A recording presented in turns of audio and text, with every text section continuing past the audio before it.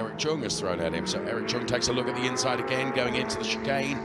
But I rather think that, uh, oh, and Alex Fox does the same on Boris Gideon. Now, interestingly, Eric Cheung continues to maintain a uh, five-second margin. Now, this in replay was Eric Cheung's second attempt at Holger Hansson at the chicane.